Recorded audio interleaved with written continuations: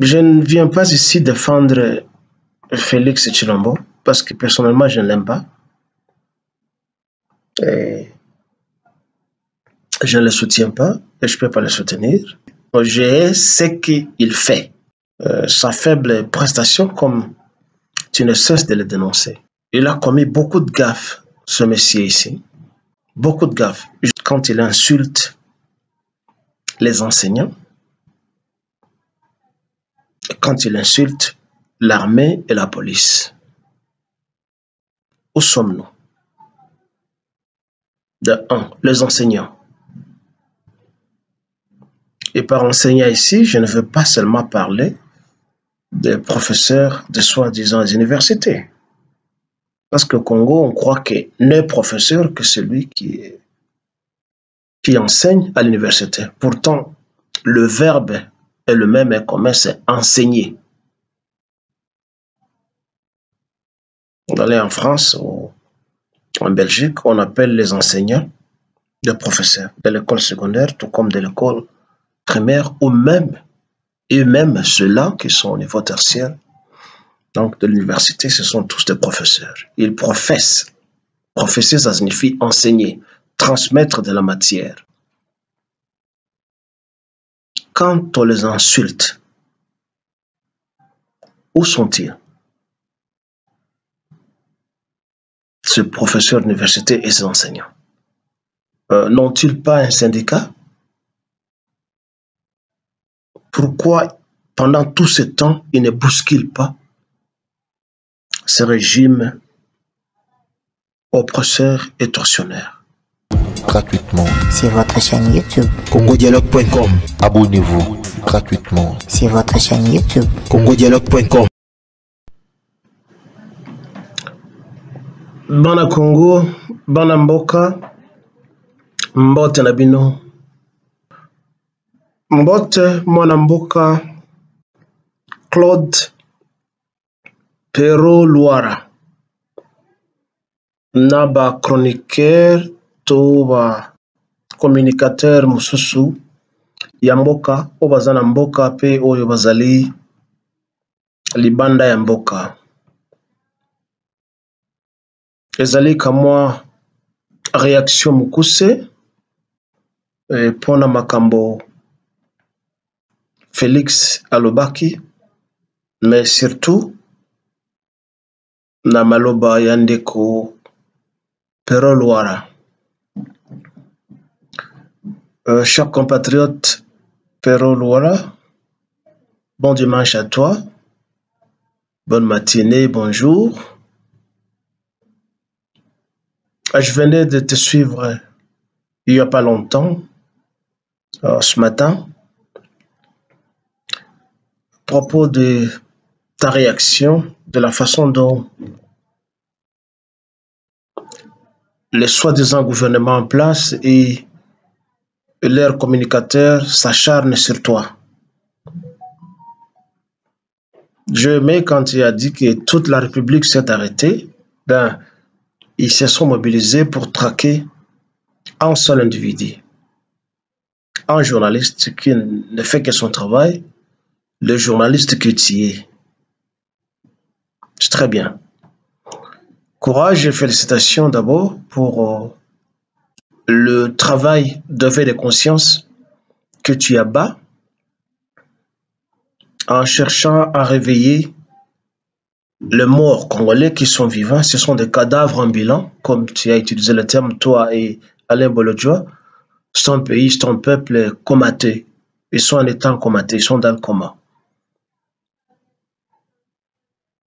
Et peut-être en utilisant cette méthode qui les électrocute, peut-être on peut réveiller soit le, le peuple, soit le pays. Il faut continuer euh, à faire ce qu'il fait. Sauf que, excuse-moi de ne pas vous regardez, vous les téléspectateurs, sauf que ce sont des histoires qui arrivent souvent quand on voudrait communiquer avec les gens et on oublie souvent de, de tendre son téléphone. Oh, mes excuses. Mes excuses en tout cas. Je disais donc,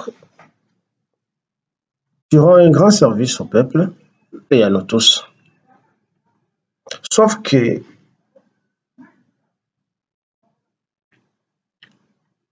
ça ne demande pas à des gens d'être très observants et très exégètes pour comprendre que tu te noies quelque part. Et c'est un conseil que je te donne de faire très bien ce travail de journaliste dans la droiture sans exposer un, un côté teinté de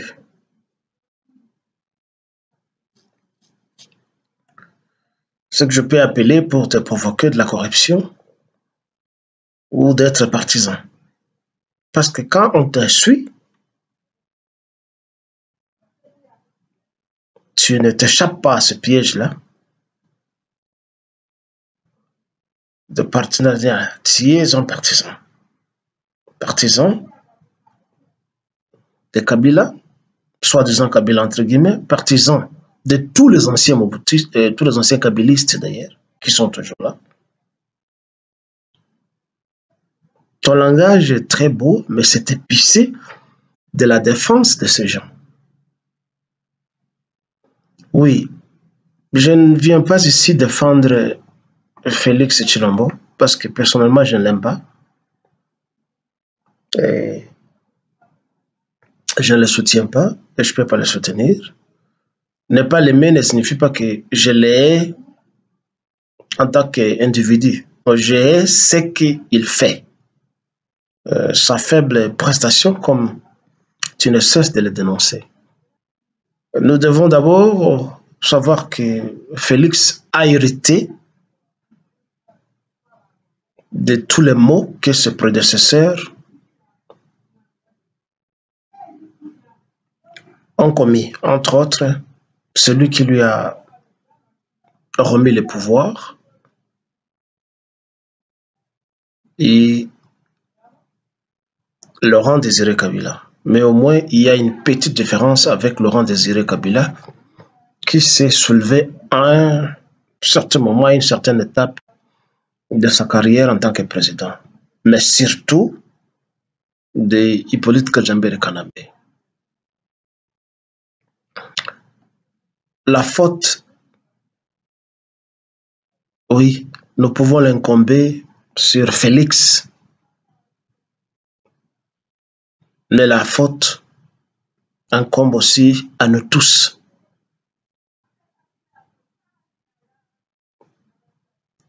Tu peux bien dénoncer les mots, comme nous le faisons nous-mêmes, euh, nous tous, mais aussi longtemps que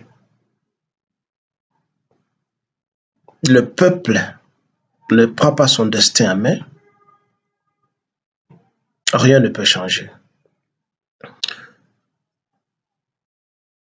Il a commis beaucoup de gaffes, ce monsieur ici. Beaucoup de gaffes. Je ne veux pas répéter comme toi tu l'as fait. Mais prenons ces deux euh, interventions de ces derniers temps, quand il insulte les enseignants, quand il insulte l'armée et la police. Où sommes-nous? De un, les enseignants. Et par enseignant ici, je ne veux pas seulement parler des professeurs de soi-disant universités. Parce qu'au Congo, on croit que n'est professeur que celui qui, est- qui enseigne à l'université. Pourtant, le verbe est le même et commun, c'est enseigner. On allait en France ou en Belgique, on appelle les enseignants des professeurs de l'école secondaire, tout comme de l'école primaire, ou même, et même ceux-là qui sont au niveau tertiaire, donc de l'université, ce sont tous des professeurs. Ils professent. Professer, ça signifie enseigner, transmettre de la matière. Quand on les insulte, où sont-ils? Ce professeur d'université et ses enseignants. Euh, N'ont-ils pas un syndicat? Pourquoi, pendant tout ce temps, ils ne bousculent pas ce régime oppresseur et tortionnaire? Depuis l'époque de Hippolyte Kajambere Kanambe jusqu'au jour d'aujourd'hui, quand Félix les insulte, les minimise, les dégrade, les enfonce dans une poubelle où il le mélange avec des ordures. Où sont-ils? Pourquoi ne descendent-ils pas dans la rue? Preuve qu'ils n'ont pas réellement cette matière. Ce sont les enseignants qui nous ont tous enseignés. Mais qu'attendent-ils pour descendre dans la rue et paralyser parce qu'ils ont, ils ont le pouvoir? L'éducation, l'enseignement dans un pays, c'est la base de tout pays au monde. Sans enseignement, sans éducation, le pays ne vaut rien. Mais quand ceux-là qui dispensent ces enseignements ne comprennent rien et ne peuvent pas défendre leur profession, réellement, on peut donner raison à Félix que ces enseignements, ces enseignants ne valent rien et n'ont pas la matière. La matière ici n'est pas seulement celle qui est pédagogique, mais la profession, la dignité qui entoure, qui décore le métier d'enseignant, la profession d'enseignant, je veux dire. Ils ne réagissent pas, ils n'ont pas syndicat, ils ne peuvent pas descendre là, dans la rue, ils ne peuvent pas, par exemple, s'absenter des campus universitaires, des écoles, pendant un mois, deux mois, trois mois et paralyser le gouvernement. Pourquoi ils ne réagissent pas? C'est parce qu'ils n'ont pas de la matière. Ils ne comprennent pas pourquoi ils sont là. Ils n'ont pas de la matière. Oui, nous savons que c'est le gouvernement qui doit mettre tout le monde dans de bonnes conditions pour travailler afin de ne pas tomber dans l'hypnose, euh, de ne pas tomber dans l'état comaté, comme tu l'as dit. Nous savons que c'est la tâche du gouvernement pour arranger et améliorer les conditions de vie de tout le monde. Nous savons ça. Mais le peuple, si réellement nous sommes dans la démocratie, le peuple ayant le pouvoir en main, Qu'est-ce que ce peuple attend pour réagir et démolir les pouvoirs qui les oppressent Le peuple est absent au rendez-vous de la défense de la démocratie et de la, réclamation de leurs droits. Et ce peuple, commençons par les enseignants eux-mêmes. Il manque de la matière, il manque de réflexion pour raisonner qu'ils doivent défendre et doivent mourir pour leur profession. Ils ne sont pas des bébés, qu'on doit venir dorloter les enseignants.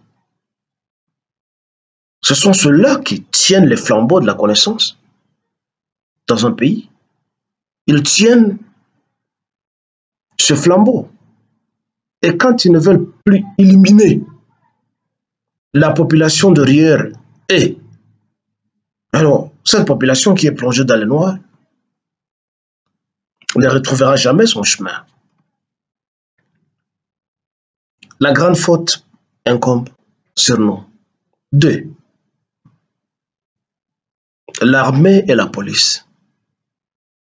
Ce dernier temps, comme tu le sais toi-même, Messie Ferro Loara, il y a beaucoup de coups d'État à répétition partout à travers l'Afrique. Ce n'est pas ce que les gens souhaitent. Mais comme le Jésus-Christ que tout le monde essaie d'imiter l'avait ou l'aurait dit, on lui attribue une phrase où il aurait dit que quand ta main ne te plus à appréhender quelque chose, un objet, il faut l'amputer. Et quand ton œil ne te plus à voir, il faut l'enlever. Bon, c'est trop méchant, on sait. C'est de la violence. Mais métaphoriquement, essayons d'interpréter que, oui, il voulait dire que quand un objet ne te plus à rien, il faut le rejeter. Félix, depuis qu'on lui a remis le pouvoir, et jusqu'au jour d'aujourd'hui où nous les critiquons, toi et moi et les autres euh, compatriotes congolais, il est un instrument qui ne nous sert à rien. Il ne nous a jamais servi à quelque chose. Tu as énuméré tout un chapelet de ses gaffes. Le voyage, son libido, sa présence à tous les rendez-vous de fête et de deuil, ses détournements des fonds publics, etc. Oui, c'est ce qu'on peut mettre dans son bilan pour ceux-là qui le soutiennent, M. Euh, Claude Loira.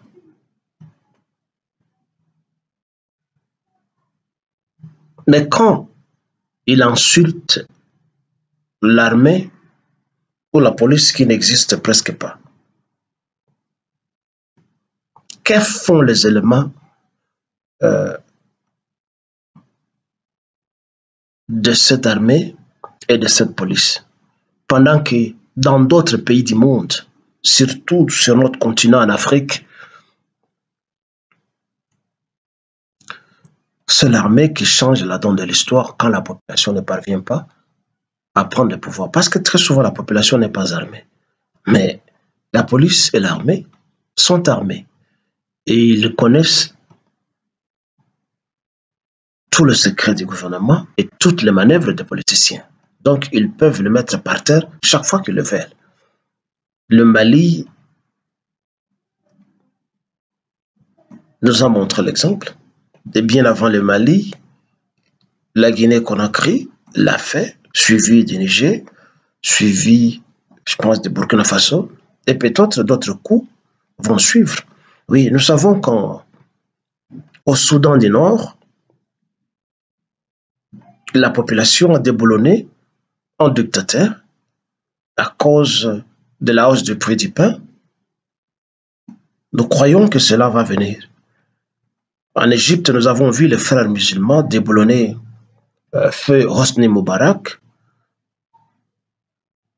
et les autres révolutions qui ont été financées par des gens tels que Georges Poros. Parlons par exemple de la Tunisie, on a vu en Tunisie le régime euh, déboulonné, etc., etc. Qu'est fait aucun fond notre armée et la police quand on les insulte?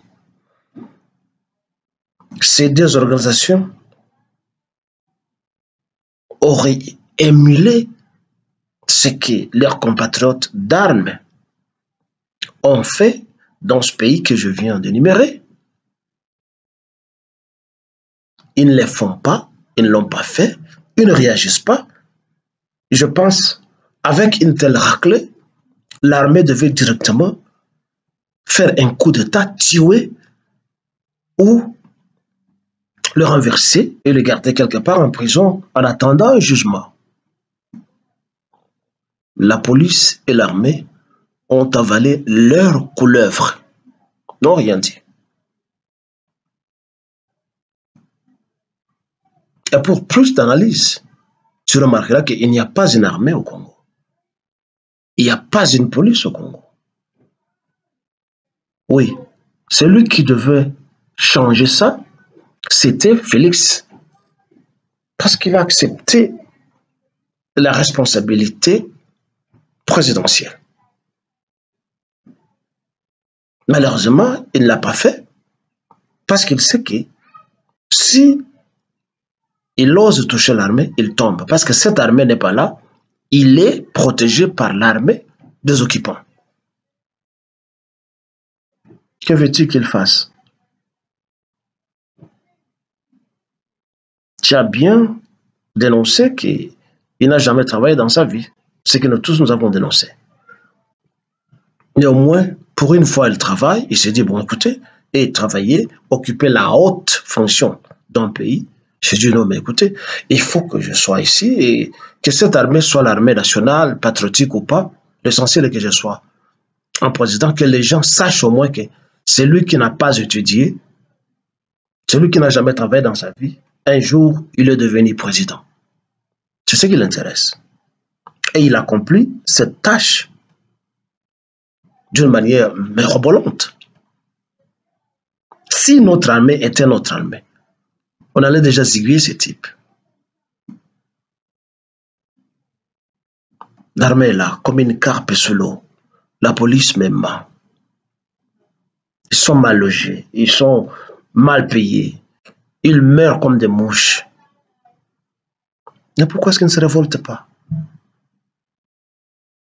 Oui, Félix devait transformer l'armée, devait transformer tout. Et comme je le disais au début, quand tu parles, tu cherches à déposer toutes les ordures sur Félix. Je te dis que je ne le défends pas. Mais l'armée qui est là, c'est l'armée d'Hippolyte Kajambere Kanambe, c'est l'armée de, Kagame, c'est l'armée de Museveni, c'est l'armée de Burundi, de Tanzanie, de Kenya, comme tu sais. Mais dans te parler, tu défends ces individus-là et ce pays-là. Tu oses dire, Hippolyte Kajambere Kanambe, que tu appelles Kabila, n'est plus là. Tout est entre les mains de Tshisekedi. C'est faux, monsieur. Euh, tu parles de Katumbi. Katumbi n'est pas là. Non, Katumbi est là. Tu parles du Rwanda. Non, le Rwanda est là. Tu cherches à défendre tous ces gens-là.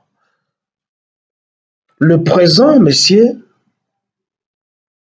ne pourra pas offusquer le passé. Et nous savons que c'est le propre du noir, c'est le propre plus précisément, plus particulièrement des Congolais.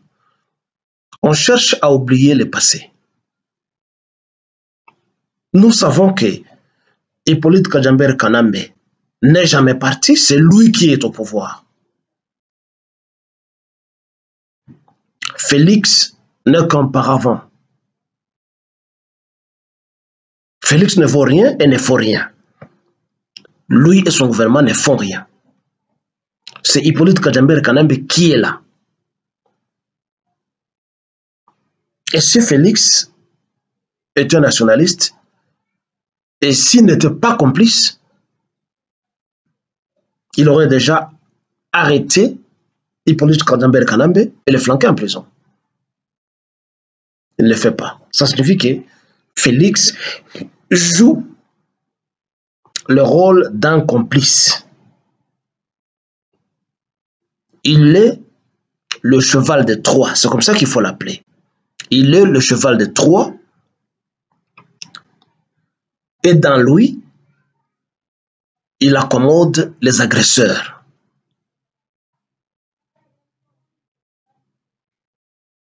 Parce qu'il est faible le choix des occupants, des envahisseurs et des agresseurs a été le meilleur. Ils ont choisi entre être un vaurien, comme tu, l'as appelé, tu, euh, tu l'as peint avec beaucoup d'adjectifs. Tant mieux, on accepte tout ça, c'est ce qu'il est. Mais disons la vérité, Monsieur Perrouloir, ce n'est pas Félix qui gouverne. Ce n'est pas Félix qui gère. Ce sont les occupants qui gèrent. Tous ces soi-disant généraux, colonels, lieutenants rwandais qui sont au Congo. Pourquoi tu ne parles pas de ces gens-là? Ce sont ceux-là qui tiennent la manette du gouvernement. Ce n'est pas Félix. Félix est un bouffon. Pourquoi tu, cherches à offusquer des criminels tels que l'entre guillemets Hippolyte Kajambere Kanambe. et sa femme. Pourquoi tu, défends des gens tels que des étrangers, tous, tels que Matata Pogno Si toi, tu ne connais pas Matata Pogno, retiens que nous le connaissons, qu'il est rwandais des pères et des mères. Tu voudrais dire que non, il a construit chez lui. Chez lui, c'est où? Le maniement, le Kindu, ce n'est pas chez lui. Et s'il a construit là-bas, avec l'argent de qui? On ne peut pas parler d'un individu qui construit chez lui avec l'argent de qui? Où est-ce qu'il a trouvé l'argent pour construire une si grande université? Nous ne sommes pas jaloux de ça. Ce sont des briques congolais, c'est l'argent congolais. Enfin, l'argent congolais, nous connaissons ça. Mais c'est le gouvernement qui devait faire ça. On n'exclut pas que des privés construisent des institutions ou des business. C'est ça le monde capitaliste. Mais lui, Matata, pour qui tu parles? Il a trouvé l'argent pour construire une université et pour se présenter aujourd'hui comme candidat potentiel à la présidence. Tu es en train de le peindre qui euh, euh, Félix ne, ne, ne, vaut rien devant lui, eh bien moi je te dis que tous ce sont des crabes dangereux que nous devons mettre dans un même panier et les écraser. Aucun de ces gens que tu cites, que tu cherches à défendre, ne jette pas la probe sur la population congolaise et sur le Congo. Matata Pogno, c'est un voleur. C'est prouvé.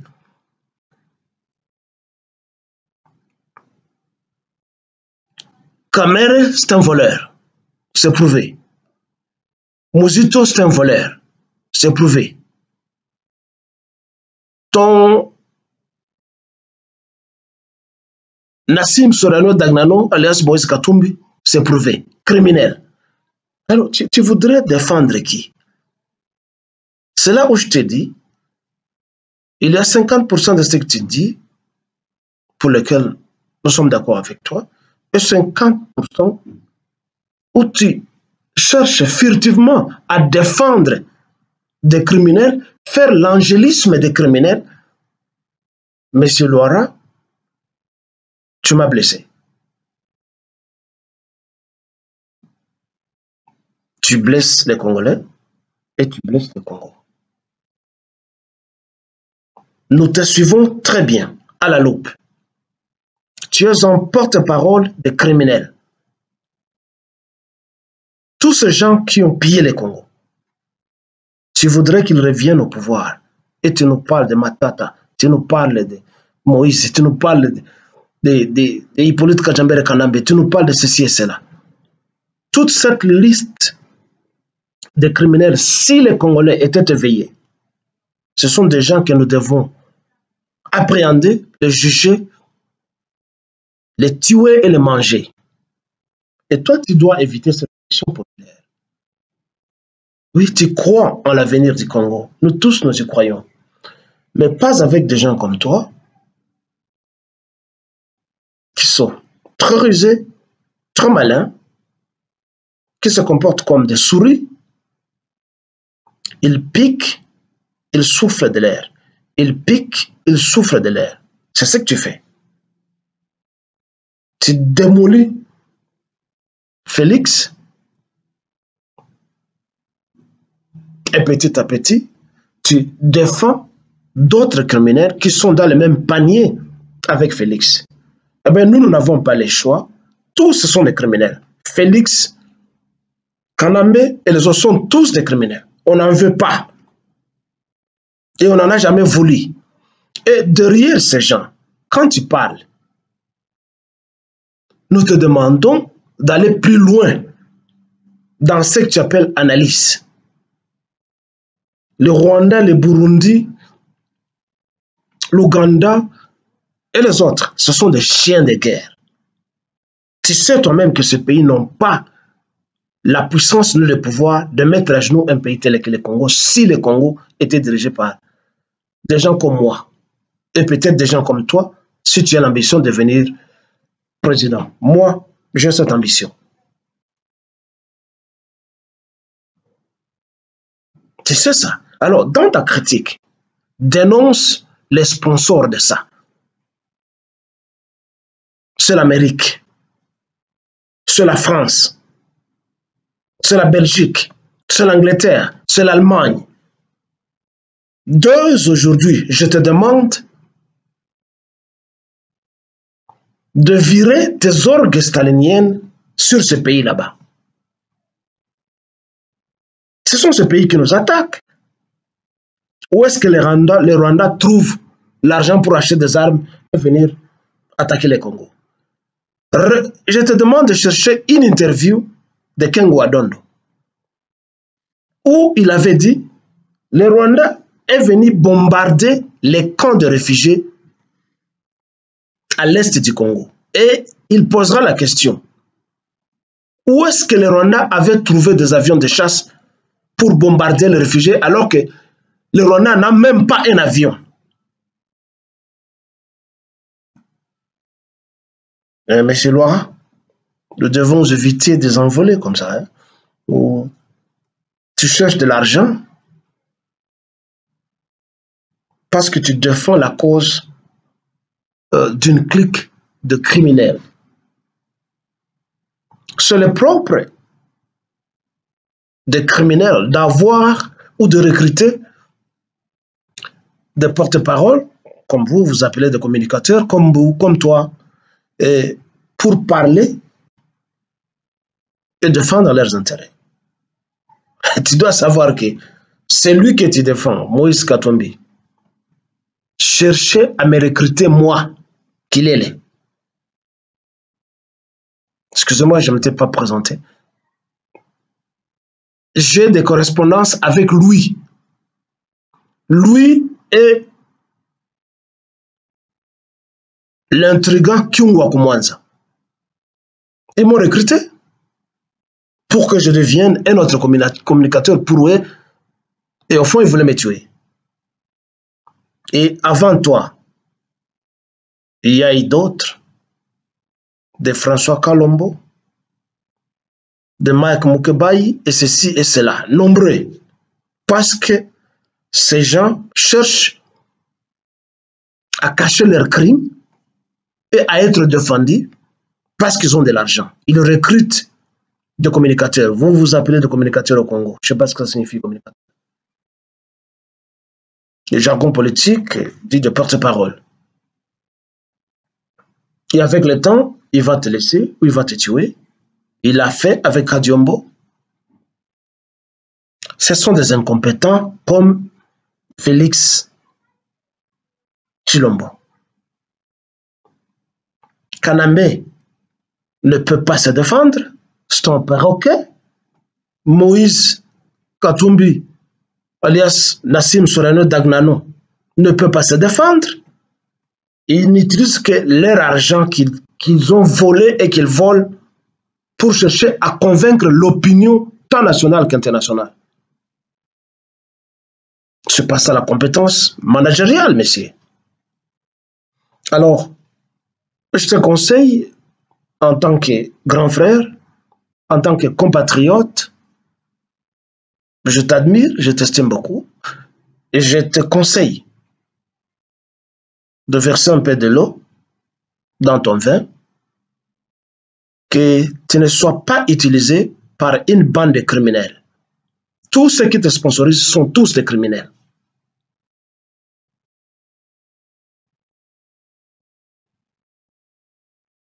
Ceci émane de moi. VIP. Jamadar Vibi Kilikilele. Pour le Congo de Lumumba, de Kassavobu, de Kimpavita, de Kimbangu qui n'a jamais été chrétien et qui n'a jamais créé une église, de tous les Congolais martyrs et de tous les Congolais combattants qui se battent pour que la nation congolaise soit. Bon dimanche.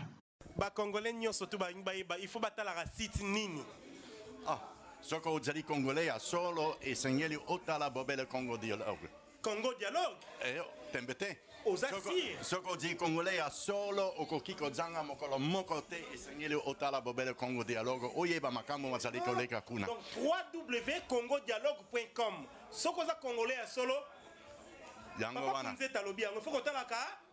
Tina ya. Tina yango ngai pe na yebaka makambo makoleka kuna na bosana te. Otalaka pe kaka Congo dialogue. Tembe te. Yeah, so ata nazali congolais so ata bamindele qui va koki kotala